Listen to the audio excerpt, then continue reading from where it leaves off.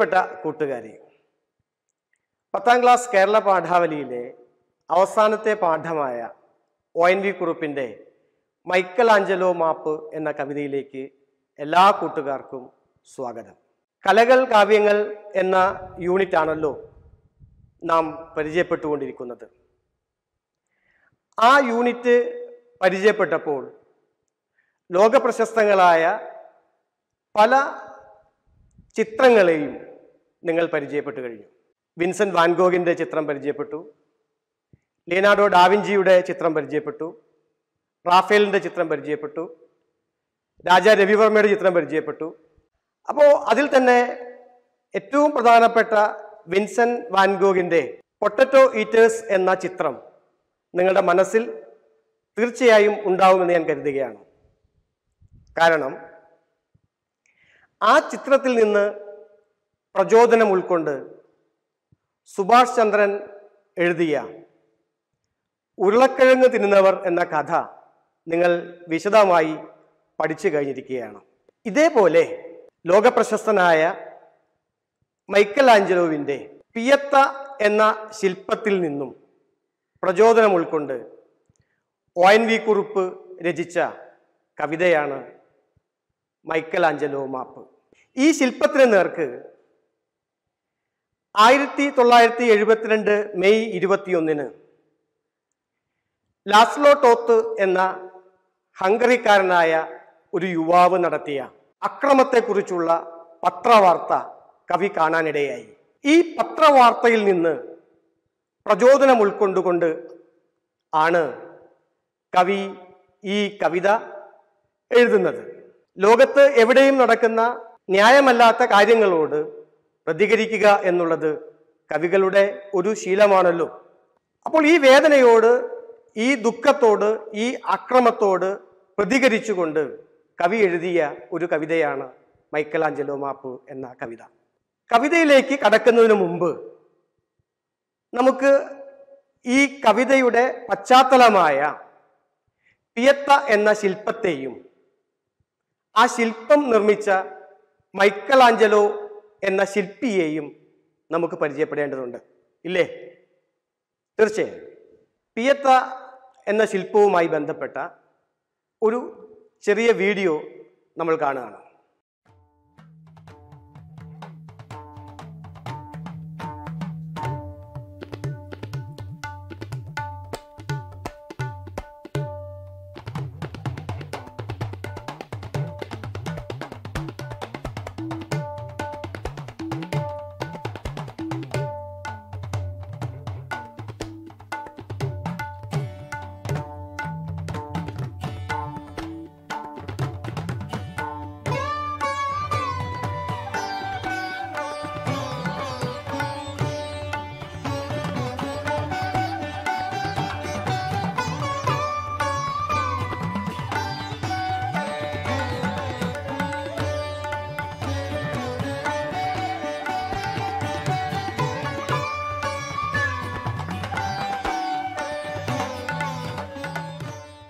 ഈ ശില്പം ആയിരത്തി നാനൂറ്റി തൊണ്ണൂറ്റി എട്ടിലാണ് നിർമ്മിച്ചത്. അന്ന് മൈക്കൽ ആഞ്ചലോവിന് ഇരുപത്തിനാല് വയസ്സാണ് പ്രായം. റോമിലെ സെന്റ് പീറ്റേഴ്സ് ബസിലിക്കയിലാണ് ഈ ശില്പം സ്ഥാപിച്ചിരിക്കുന്നത്.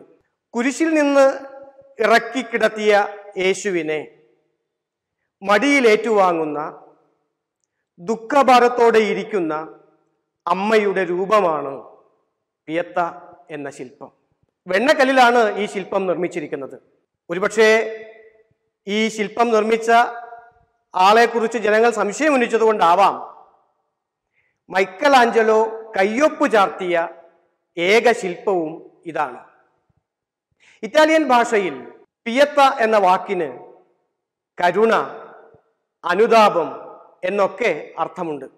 കാലത്തിനും ദേശത്തിനും ഭാഷയ്ക്കും ഒക്കെ അപ്പുറത്ത് ലോകമെങ്ങുമുള്ള കലാസ്വാദകർ കൂട്ടം കൂട്ടമായി വന്ന് പിയത്തയെ ഇന്നും ആരാധനയോടെ നോക്കിക്കാണുന്നു. മാർബിളിൽ തീർത്ത കവിത എന്നാണ് പിയത്തയെ വിശേഷിപ്പിക്കുന്നത്. വത്തിക്കാൻ ഈ ശില്പത്തെ അതീവ ശ്രദ്ധയോടെയാണ് സംരക്ഷിക്കുന്നത്. എങ്കിലും നാനൂറ് നാനൂറ്റി അൻപത് വർഷങ്ങൾക്ക് ശേഷമാണ് ഈ ശില്പത്തിന് നേർക്ക് ഒരു ആക്രമണം ഉണ്ടാകുന്നത്.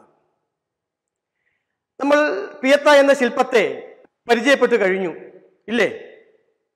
എങ്കിൽ ഇനി ഈ ശില്പം നിർമ്മിച്ച ശില്പിയെ നമുക്ക് പരിചയപ്പെടാം. ഈ ദൃശ്യത്തിലേക്ക് നോക്കൂ.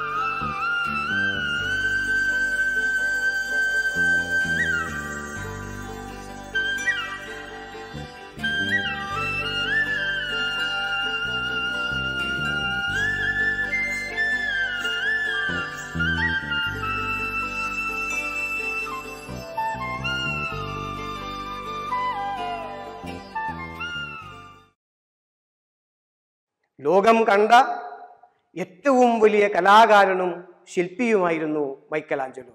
ആയിരത്തി നാനൂറ്റി എഴുപത്തി അഞ്ചിലാണ് മൈക്കലാഞ്ചലോ ജനിക്കുന്നത്. തൊണ്ണൂറ് വർഷം നീണ്ടുനിന്ന മഹത്തായ ഒരു കലാകാരന്റെ ജീവിതം. ഇറ്റലിയിൽ നവോത്ഥാന കലാകാരന്മാരിലെ ഏറ്റവും പ്രമുഖനായ ആളായിരുന്നു മൈക്കലാഞ്ചലോ. റോമിലെ പ്രശസ്തമായ സിസ്റ്റൈൻ ചാപ്പലിലാണ് ഈ കലാകാരൻ തന്റെ അത്ഭുതങ്ങൾ അത്രയും സൃഷ്ടിച്ചത്. സിസ്റ്റൈൻ ചാപ്പലിന്റെ കുംഭഗോപുരത്തിലും ഭിത്തിയിലുമെല്ലാം ഈ കലാകാരൻ ബൈബിളിൽ നിന്ന് പ്രചോദനം ഉൾക്കൊണ്ടുകൊണ്ട് മുന്നൂറ്റി നാൽപ്പത്തി മൂന്ന് ചിത്രങ്ങളാണ് വരച്ചു ചേർത്തത്. സിസ്റ്റൈൻ ചാപ്പലിനെ കുറിച്ച് പറയുമ്പോൾ മാർപ്പാപ്പമാരെ തിരഞ്ഞെടുക്കുന്ന കോൺക്ലേവ് നടക്കുന്ന സ്ഥലമാണ് സിസ്റ്റൈൻ ചാപ്പൽ. അതുകൊണ്ട് തന്നെ അവിടെ വരയ്ക്കുന്ന ചിത്രങ്ങൾ കർശന നിയന്ത്രണം അധികാരികളുടെ ഭാഗത്തുനിന്ന് ഉണ്ടായിരുന്നു. പക്ഷേ ചിത്രരചനയിൽ മൈക്കലാഞ്ചലോ പുറമെ നിന്നുള്ള ആരുടെയും ഇടപെടലിനെ അംഗീകരിച്ചിരുന്നില്ല. ആവിഷ്കാര സ്വാതന്ത്ര്യം ചിത്രകാരന്റെ മൗലിക അവകാശമായി മൈക്കലാഞ്ചലോ കരുതിയിരുന്നു. ഭിത്തികളിലും കുംഭഗോപുരങ്ങളിലും ഫ്രസ്കോ എന്ന സങ്കേതം ഉപയോഗിച്ചാണ് ചിത്രം വരഞ്ഞിരുന്നത്. ചിത്രം വരയുവാനായി കെട്ടിയ തട്ടിൽ കിടന്ന് ചിത്രം വരച്ചു വരച്ച് ഒടുവിൽ തനിക്ക് എന്തെങ്കിലും വായിക്കണമെങ്കിൽ തന്നെ തല ഉയർത്തി നോക്കേണ്ടി വന്നു എന്നാണ് ജീവചരിത്രകാരനായ ജോർജി വസാരി ഈ ശില്പിയെക്കുറിച്ച് സൂചിപ്പിച്ചിരിക്കുന്നത്. നോക്കൂ കുട്ടികളെ അലസമായ ജീവിതം അല്ല. അത്യധ്വാനം കൊണ്ട് ലോകപ്രശസ്തനായി തീർന്ന കലാകാരനായിരുന്നു മൈക്കലാഞ്ചലോ. ഒരുപക്ഷെ ഇത്തരം കലാകാരന്മാരുടെ ജീവിതം നമുക്കും പ്രചോദനമായി തീരേണ്ടതുണ്ട്. വിശ്വോത്തരങ്ങളായ കലാസൃഷ്ടികളുടെ എല്ലാം പിറകിൽ ഇത്തരം ആത്മാർപ്പണത്തിന്റെ കഥകളുണ്ടെന്ന് നിങ്ങൾ അറിയണം ഒരുപക്ഷെ വൈലോപ്പിള്ളിയുടെ അത്ഭുതമണി എന്ന കവിത നിങ്ങൾ പരിചയപ്പെട്ടിട്ടുണ്ടാവും. അത്ഭുതമണി സൃഷ്ടിക്കുന്നതിന് വേണ്ടി അച്ഛനെ രാജകോപത്തിൽ നിന്ന് രക്ഷിക്കാൻ വേണ്ടി ആ മൂശയിലേക്ക് സ്വയം സമർപ്പിക്കപ്പെടുന്ന ഒരു കൊച്ചു പെൺകുട്ടിയുടെ കഥ നിങ്ങൾ ഓർമ്മയുണ്ടാവും പഠിച്ചത്. അരുമപ്പെട്ടവ എന്തെന്തെല്ലാം ആഹൂതി ചെയ്യപ്പെട്ടിട്ടാം പിറവിയെടുത്തത് വിശ്വോത്തര കല പീഡകൾ പുളയുന്നെരിതിയിൽ വിശ്വോത്തരങ്ങളായ കലാസൃഷ്ടികളുടെ എല്ലാം പിറകിൽ ഇത്തരം ആത്മാർപ്പണത്തിന്റെ കഥകളുണ്ട് എന്ന് ഞാൻ സൂചിപ്പിച്ചു. പിയത്തെയും അങ്ങനെ തന്നെ. കവിയെയും ശില്പിയെയും ശില്പത്തെയും കുറിച്ച് പരിചയപ്പെട്ട സ്ഥിതിക്ക് നമുക്ക് കവിത ഒന്ന് കേട്ടു നോക്കാം. നിങ്ങൾ ടെക്സ്റ്റ് ബുക്ക് എടുത്ത് കവിത ശ്രദ്ധയോടെ കേൾക്കുക. മൈക്കലാഞ്ചലോ മാപ്പ്. O N V Kurup. ഒടുവിൽ കുരിശിൽ നിന്നിറക്കി ജഡം താഴെ ഒരു ദുഃഖത്തിൻ സൂര്യശിലയായി തീർന്നോരമ്മ തൻ മടിത്തട്ടിൽ താങ്ങിക്കിടത്തി. വാത്സല്യാർദ്രം തൻ മകനുടെ ആറിത്തണുത്ത തിരുഗാത്രം. ഒരു വെണ്ണില്ലിപ്പൂവിൽ ശോണരേഖകൾ പോലെ തിരുശോണിതം വർണ പാടുകളുടലാകെ താത നീവരോടു പൊറുക്കേണമേ എന്ന് പാതികൂമ്പിയ കൺകൾ ഇപ്പോഴും പ്രാർത്ഥിക്കുന്നു. തന്നിൽ നിന്നടർന്നൊരു മുത്തിനെ ആരോ കുത്തി നെഞ്ചകം പിളർന്നൊരു മുത്തിനെ വീണ്ടും തന്റെ അംഗത്തിലെതിരേൽക്കും പാഴ്ചിപ്പിയുടെ മുഖസങ്കടം പോലെ. അമ്മയിരിപ്പൂ കരയുവാൻ കണ്ണുനീരില്ലാതെ ഉരിയാടുവാൻ വാക്കില്ലാതെ കത്താതെ ഉരുകാതെ വിങ്ങുൾത്താപം പോലെ. ഉറ്റുനോക്കി ഞാൻ നിൽക്കെ പിന്നെയും പിയത്തയെ ഉജ്ജ്വല മുഹൂർത്തങ്ങൾ എന്നുള്ളിൽ ഉദിക്കുന്നു. ദൃക്സാക്ഷിയാകുന്നു ഞാൻ. അരിമത്യയിൽ നിന്നുമെത്തും ഔസേപ്പിനൊപ്പം ഗലീലി സ്ത്രീകൾക്കൊപ്പം അറിവേൻ അടുത്തു നിന്നറിവേൻ ഭൂമിക്കൊപ്പം അഴലിൻ ചുമടുമായിരിക്കുമൊരമ്മയെ മൃതിയാശ്ലേഷിച്ചാലും പിന്നെയും മാതാവിന്റെ മടിയിൽ ഉയിർ തേടിയണയും അണയും തൃപ്പുത്രനെ. നന്ദി ഓതുന്നു ഞാൻ നന്ദി ഓതുന്നു ഞാൻ എൻ ഗൈഡിനും വത്തിക്കാനും.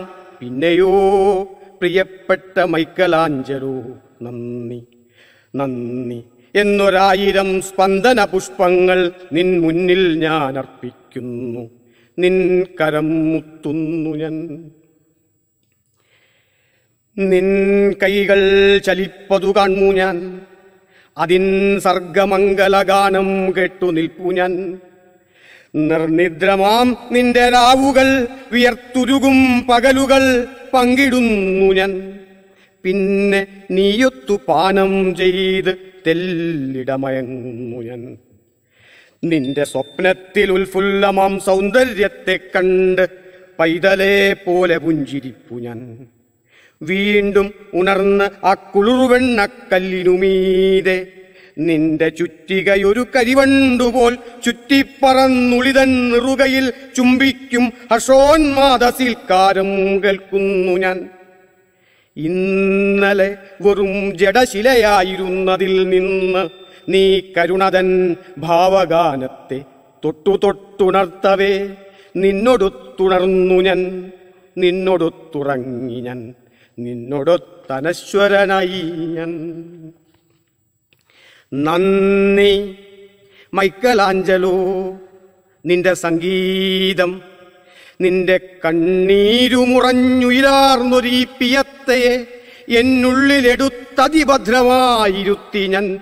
പിന്തിരിയുമ്പോൾ കേട്ടേൻ ഇടിവെട്ടുമ്പോൾ ഒരു ചുറ്റികമുട്ടും ശബ്ദം തകർന്നു. തകർന്നു വെൺപൊട്ടുകൾ പൊടികളാ ദയാദതയുടെ വെളുത്ത കൈത്താമര കൺപോള. നിഷാദ നീ നിർത്തു കണ്ണില്ലെനിക്ക് ഇല്ല കൈ ഞാൻ ഇല്ലാതെയായി വൃദ്ധനായി അസ്വസ്ഥനായി ഒന്നുറങ്ങുവാൻ പോലും ഡ്രഗുകൾ തേടിപ്പോകും ഈ ശതാബ്ദത്തിൻ ഭ്രാന്തജൽപ്പനം കേട്ടേൻ. പിന്നെ തച്ചുടയ്ക്കുവാൻ മാത്രം ചുറ്റികയെടുത്തൊരു പയ്യന്റെ ചുണ്ടിൽ നിന്നും അവനു ചുറ്റും ബിംബപഞ്ചക പരിവേഷമണിയിക്കുവാൻ ഏതോ ക്യാമറ കഞ്ചിമ്മുന്നു. മാപ്പു നൽകുകൻ പ്രിയ മൈക്കലാഞ്ചലോ മാപ്പ്. മാപ്പു നൽകുകൻ പ്രിയ മൈക്കലാഞ്ചലോ മാപ്പ്. മാപ്പ് ഇവർ ചെയ്യുന്നതെന്തെന്ന് ഇവരറിവീല. മാപ്പു നൽകുകൻ പ്രിയ മൈക്കലാഞ്ചലോ മാപ്പ്. കവിത കേട്ട് കഴിഞ്ഞല്ലോ. ഒ എൻ വി കുറിപ്പിന്റെ എത്ര സുന്ദരമായ കവിത. ഒരുപക്ഷേ പിയത്ത എന്ന ശില്പം പോലെ സുന്ദരമായ കവിത. കവിതയുടെ അവസാനം നമ്മൾ കണ്ടു. ആ ശില്പത്തെ ആക്രമിച്ച ശില്പിയോട് കവി രൂക്ഷമായ ഭാഷയിലാണ് പ്രതികരിക്കുന്നത്. കവിതയുടെ ആദ്യ ഭാഗത്ത് ക്രിസ്തുവിന്റെ മരണം അമ്മയിലുണ്ടാക്കിയ ദുഃഖം വളരെ തീവ്രമായി അവതരിപ്പിച്ചിട്ടുണ്ട്. അമ്മയെ ഒരു ദുഃഖത്തിന്റെ പ്രതിരൂപമായിട്ടാണ് കവി ആദ്യ ഭാഗത്ത് അവതരിപ്പിക്കുന്നത്. അത് കടന്ന് വെണ്ണക്കൽ ശിലയിൽ നിന്ന് മാർബിളിൽ നിന്ന് പിയത്ത എന്ന ആ ശില്പത്തിന് ജന്മം നൽകുന്ന ശില്പി പിന്നിട്ട രാപ്പകലുകളും ഒഴുക്കിയ വിയർപ്പ് തുള്ളികളും കവി കാണുന്നുണ്ട്.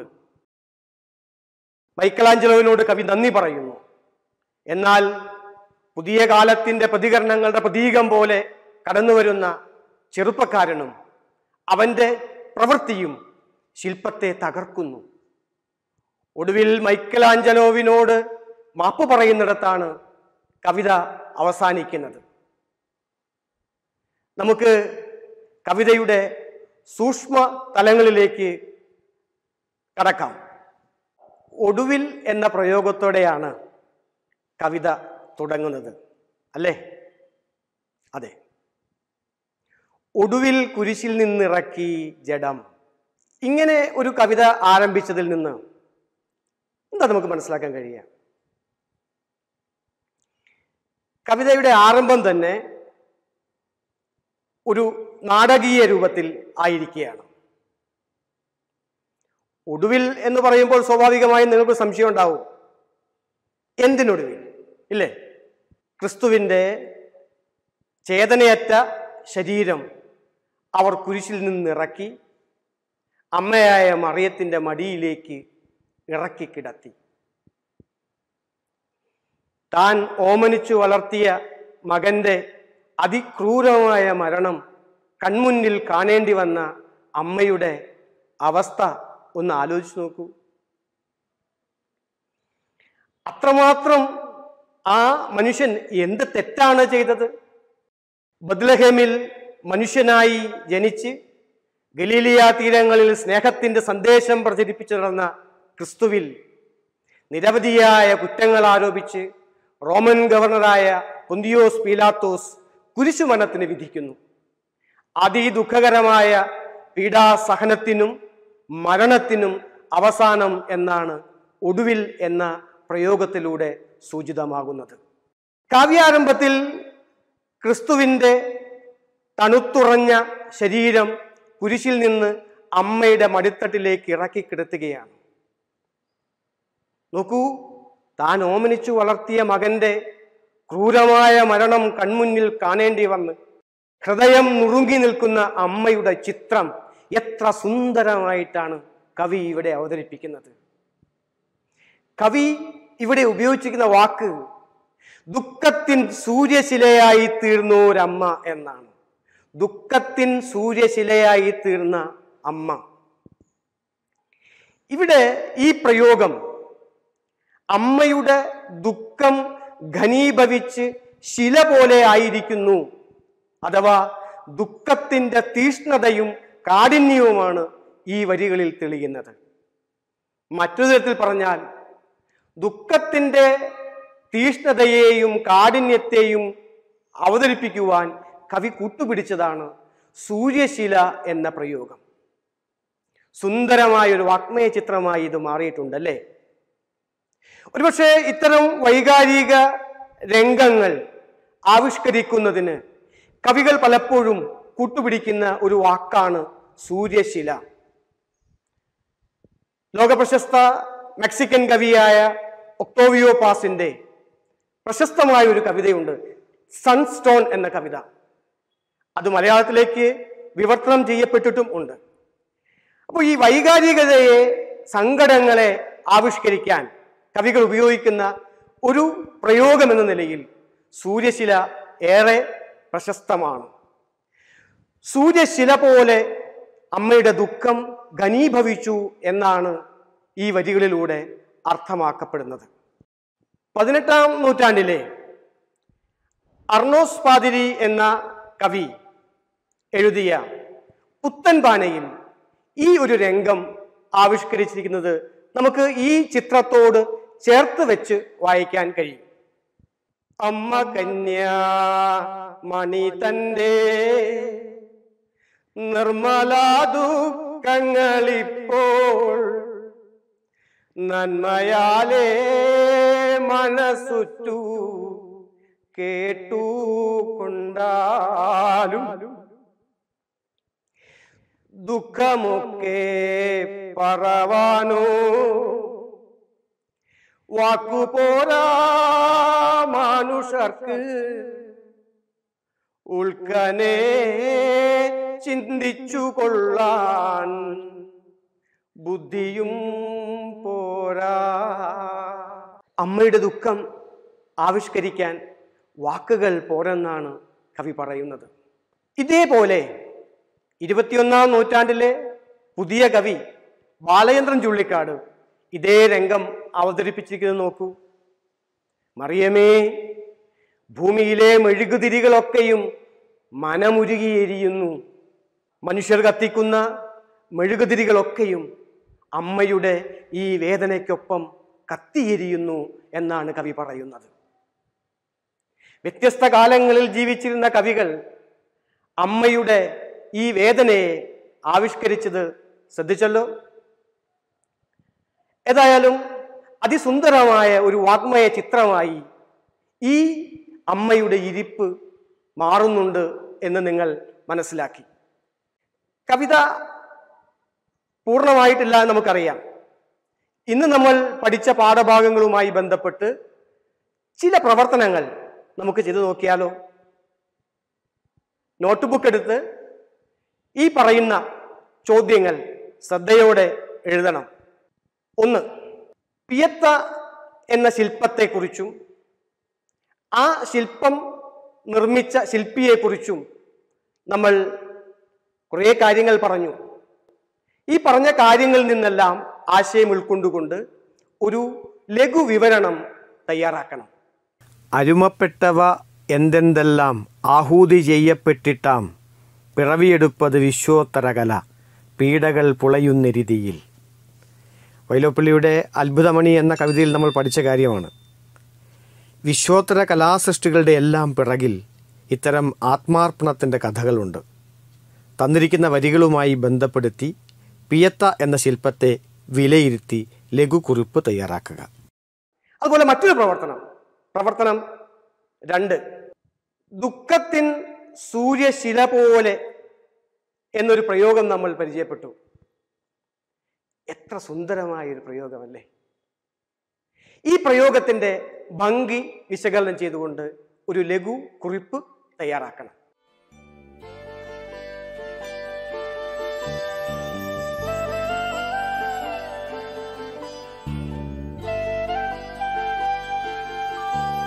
ഈ അധ്യായം ഇവിടെ അവസാനിക്കുകയാണ്.